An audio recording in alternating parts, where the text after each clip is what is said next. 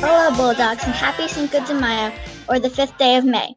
That music we opened with was The Reflex by Duran Duran, who hit number one on the UK charts with that song in 1984.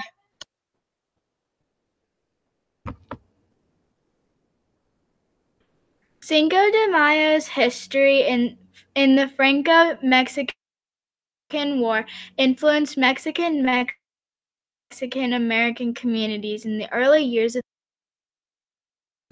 in the early 1860s, as the Civil War started, these communities took up the Cinco de Mayo celebration as a way to honor the cause of freedom and democ- democracy.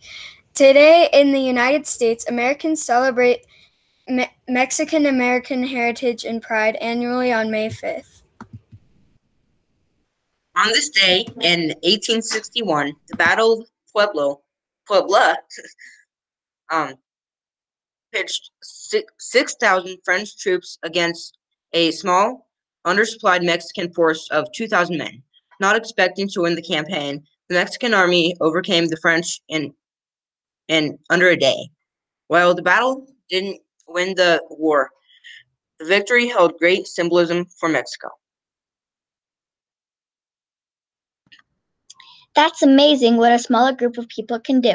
Today looks like another beautiful Colorado day with a high around 70. It is so great that these mild spring temps are staying with us. It certainly is great to have the weather cooperating us cooperating with let us with letting us go outside. Today in history in 1961, Alan Shepard became the first American in space in a 15-minute suborb- suborbital flight. This was 8 years before the moon landing.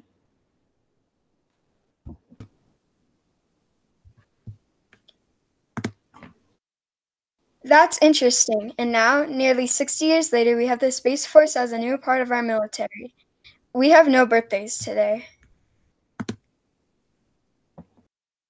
Get outside today, Bulldogs. Enjoy some sun, learn some Spanish and about the Mexican culture in honor of Cinco de Mayo, and know that, like this 1979 number one hit by Peaches and Herb, we look forward to when um, when we can all be reunited.